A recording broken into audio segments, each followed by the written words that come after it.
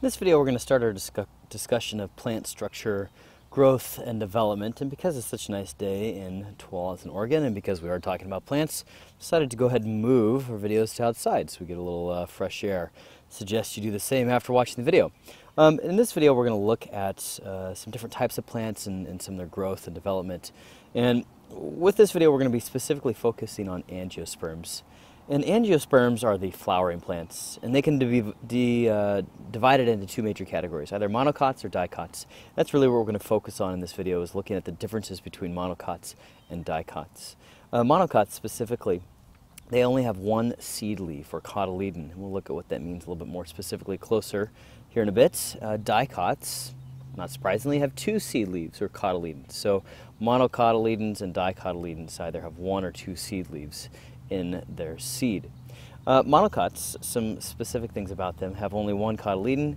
Uh, some examples would include uh, species like corn, wheat, lilies, orchids, and palms. Um, in their embryos and their seeds, they have one cotyledon.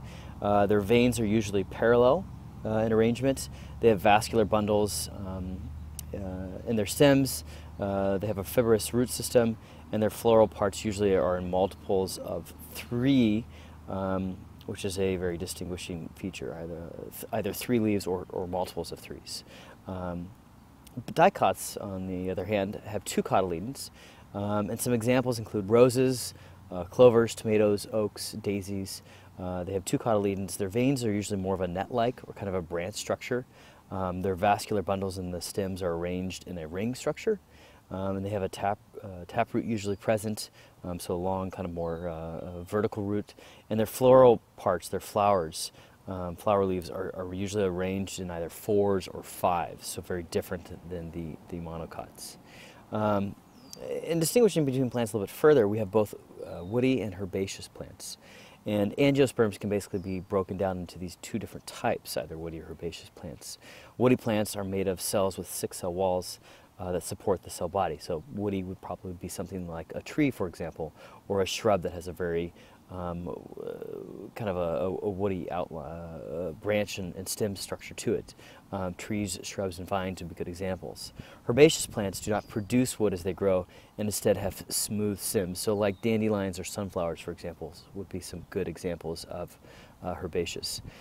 Uh, plants their lifespans um, can be genetically determined. Um, most plants have some sort of indeterminate growth, and they continue to grow as long as they live.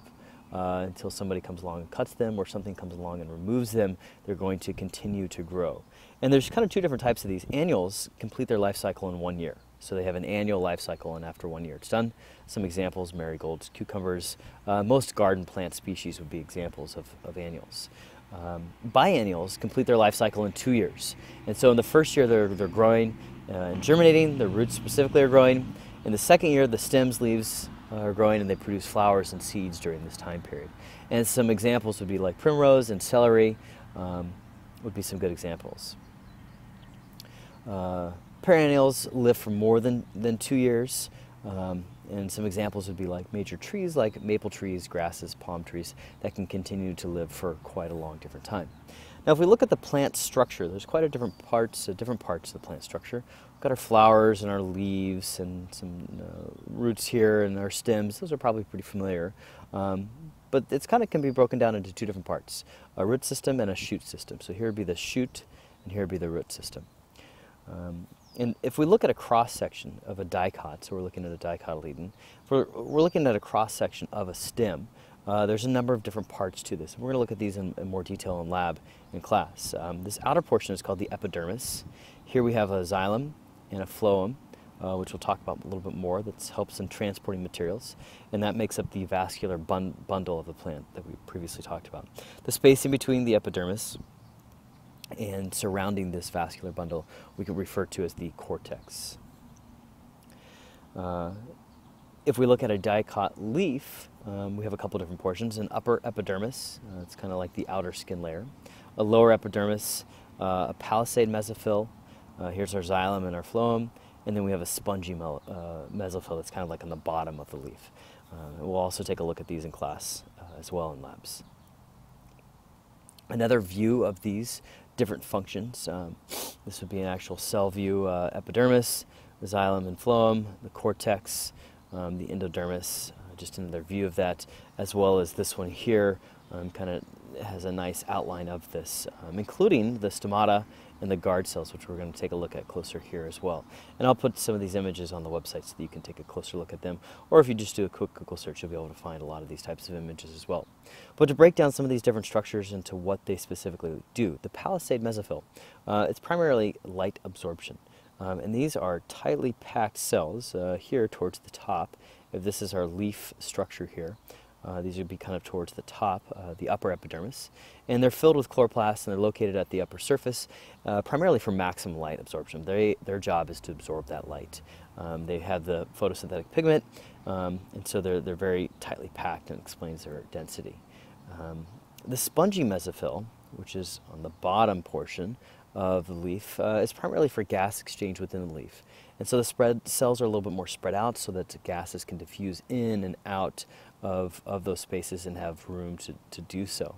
Um, and it, they're very centrally positioned near all of the tissues um, so that it can, once the oxygen is diffused within the, the, the leaf, it can be moved throughout the cell.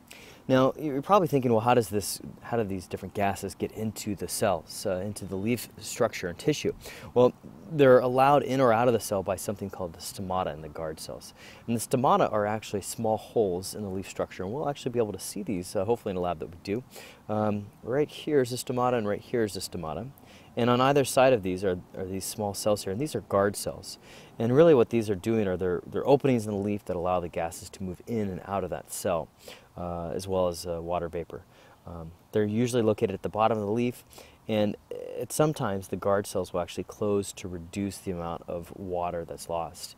And some plants have actually developed these really unique and cool adaptations where in very hot climates like the desert for example, they will close their stomata during the day when it's really hot and they could lose moisture very easily, easily so that um, they don't, uh, don't lose all of that moisture. And we'll take a look at those a little bit more detail as well. Uh, the epidermis is, is kind of the outer portion of that, and it supports um, uh, water conservation. It's the outer layer that helps to protect both the inner mesophyll layers. Uh, it's really thick-walled for support and structure, um, and it can also sometimes secrete a lipid layer, kind of a waxy cuticle is what it's called, on the outside. If you ever go and fill, uh, some plants have that kind of waxy outside feeling to them, and that's secreted by a lipid layer in the epidermis. The vascular bundle, uh, its, its primary function is transport, and it's transporting water and the products of photosynthesis throughout the, the plant. Uh, and there's two main parts to that, the xylem and the phloem. And the xylem is responsible for transporting water, ions, salts, and organic molecules. Uh, the phloem is more responsible for, for transporting the products of photosynthesis, um, and sugars. And I suppose uh, the xylem should probably uh, subtract that organic molecules there because that's primarily what the phloem is doing with the products of photosynthesis and those sugars.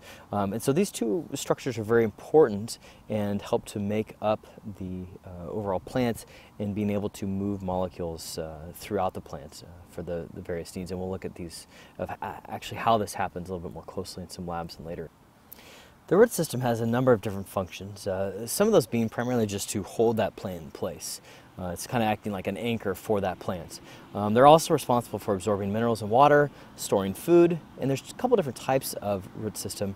Uh, the fibrous root system is found mostly in monocots uh, here, um, whereas the taproot system is found mostly in dicots. And you can see that the primary difference between this is this one's got a very long uh, root system that's uh, a little bit more vertical, whereas this one's uh, not as extensive uh, in terms of the length of it, but it's a little bit more spread out. And a, a lot of different plants have actually modified the root system um, and stems and leaves as well for some specific functions uh, to help them survive in their environment. And the first one that we're going to look at is a, a bulb modification.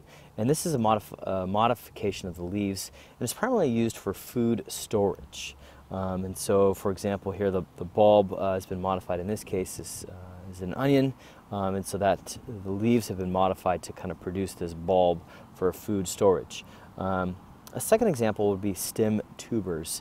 And this is an actual modification of the stem. And it's used for, uh, also used for food storage, um, but the, the, the food storage is usually growing laterally underground. Um, and it's oftentimes to store starch. And so a great example of that is from the potato plant, where these potatoes are representing a, a storage of food or calories um, in, in the form of starch. And so those would be two examples.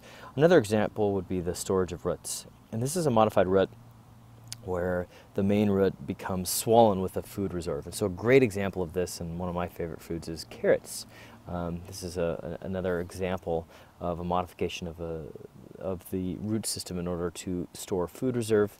Um, the tendrils is uh, a modification of the stem or the leaf. It kind of depends on the plant, but basically you can think of this as a way for that plant to climb up or to be able to um, move up and, and kind of spread itself uh, out.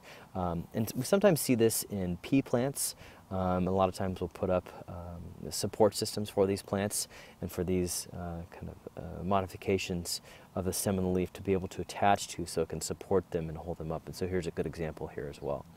And so now that we've been talking about roots, roots, excuse me, um, we can take a closer look at how they actually are able to grow. And there's three areas of growth. Um, a zone of cell division, um, which includes both the, uh, includes the apical meristem, uh, and this is the portion towards the bottom tip of, of this area. Um, and how this actually works is that uh, the cells are dividing by mitosis, and you can look at these, and we will look at these. You can look at them under a microscope. And this is an area of, a, of a, usually it's onion root tip that you look at, um, but you can actually see the uh, cells dividing. Um, you can see a lot of cells undergoing mitosis. The cell, uh, the zone of elongation, the cells are actually getting longer or expanding. And as you, if you're looking at this under microscope, you can actually see that these cells are longer in length than those in the zone of, of cell division. Um, and then the last zone is, is when the cells begin to differentiate and become specialized for their specific area and, and for their specific need. Um, overall, the root is protected by a cap, which helps to protect the apical meristem um, as the plant grows down into the soil. And we're going to talk about an apical meristem here in just a second. The shoot system consists of um, vegetable shoots, which eventually bear leaves, um, uh, floral shoots, and the stems kind of have three important functions. Um, the production of leaves, flowers, and branches uh, would be one. Holding leaves up uh, for the sunlight so that they can actually photosynthesize and collect that sunlight. And then the transportation of substances between the, the roots and the leaves. Uh, so now here comes that question of how do these stems actually grow. And apical meristem is, is, uh, can be found in two different locations, at the top of the plant and at the very bottom of the plant. And this is an increase in length uh, to the primary form of growth. And it occurs by cell division uh, in the apical meristem. And so those cells are dividing by mitosis. Um, and it produces an epidermis, it produces ground tissue, uh, the primary xylem and phloem. Um, and it also produces the initial tissue in growing plants. Now, that's just vertical growth, uh, but there's also a possibility for stems to grow outward, and this is what we call lateral meristems. And these are actual portions where the plant is growing laterally and expanding. Um, and this is a secondary growth, um, and it's really kind of the growth in the circumference um, uh, of the strength of the stem. It's, it's moving outwards. Um, and so it, it occurs in a specific area called the cambium between the xylem and the phloem um, and it forms the secondary xylem and phloem. And it occurs more actively in older stems and roots uh, uh, generally. Um, the last topic that we want to look at for this, for this uh, video is why do we see, if we put a plant um, by a window, uh, or maybe a few feet away from a window, why do we see and what causes that plant to actually kind of grow towards uh, the window and, and, try to capture that light. And you can try this if you've never done it at home. Take a plant and, and kind of put it a few feet away from the window. Um, hopefully that plant is, is pretty vertical. And after a, a, week or so, a couple weeks, see what happens. See what actually happens to that plant. Um, the stem of plant shows a, a, positive attraction to light. Obviously that plant needs light in order to be able to grow. Um, and auxin is a, is a plant growth substance that promotes cell elongation and is produced by the meristems. Um, but what we can see happen is this plant is growing towards the light. Uh, it actually bends in such a way that um, the top portion uh, will actually bend towards the light. And the way this actually works is that um, auxin secretes hydrogen ions that diffuse through the cell wall of the cells, causing a loosening of the cell wall and the space for elongation. So um, these are normal sized cells, and these cells have, have been secreted at auxin, so they're more loose and they're actually to bend and elongate uh, so that the plant can grow towards that light substance. We'll take a look at these topics a little bit more in detail in labs and in future videos.